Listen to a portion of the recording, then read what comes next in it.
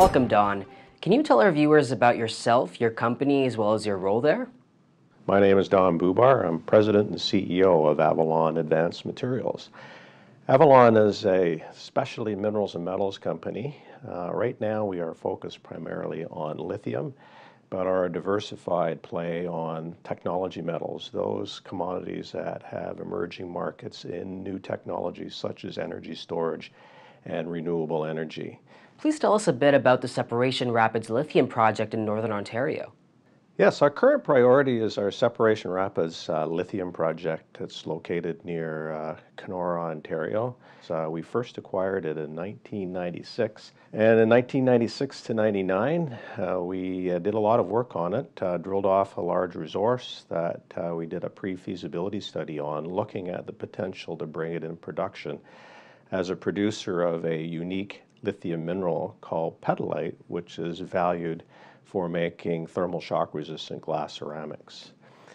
That business model didn't get off the ground then uh, because the market uh, changed on us. The lithium ion battery was starting to get used in um, things like mobile phones, and I knew there would be more demand for it in the future.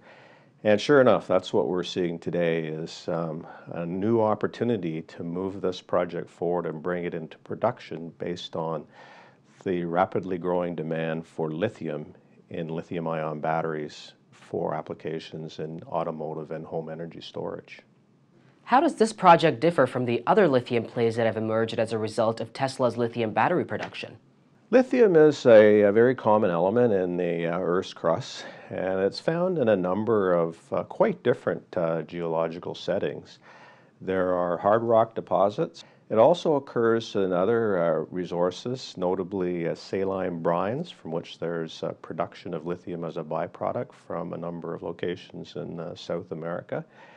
And some companies are looking at uh, other uh, similarly low-grade lithium resources in, in, clays that offer, again, large resources and perhaps lower um, mining costs to, to develop. At the end of the day, uh, lithium is not really a traditional commodity. Um, it's really a specially engineered chemical product that needs to be produced and designed to the needs of the customers in the marketplace that you're uh, planning to serve. With this project, that's what we've been doing over the last year is um, looking at it again as a potential source of lithium for this new market in lithium ion batteries and how we can most efficiently process this ore to uh, make the form of lithium that is needed in uh, lithium ion batteries. And uh, we're just about uh, completed uh, that work and we'll be announcing uh, the results of a preliminary economic assessment in September of this year. What's your opinion on the current lithium boom and do you think it's sustainable? Yes, it is. The supply-demand fundamentals are what's driving the uh, uh, growing interest in, in, lithium and the boom and uh, activity around developing new sources of supply. Um, demand is outstripping the supply side's ability to keep up, uh, creating opportunities for uh, new producers to emerge to uh, serve this market. Uh, everybody agrees amongst the analysts covering the sector that uh, this growth will continue. The lithium ion battery is clearly the energy storage solution of choice for uh, uh electric vehicles and home energy storage for at least the next uh, 10 years and probably longer. And new sources of supply will be needed to, uh, to meet the rapidly growing demand. What do your shareholders have to look forward to in the next 12 to 18 months? Well, once we complete our preliminary economic assessment on uh, Separation Rapids, then we will be looking to move forward to take it through feasibility. Uh, in the short term, that means um, uh, finding partners to work with us to um, uh, develop the project.